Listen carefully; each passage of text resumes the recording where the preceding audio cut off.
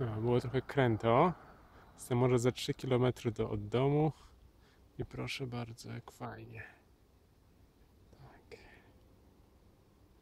Trochę to ruch samochodowy, no ale trudno, to jest tylko jedyna droga. No, więc siadam dalej.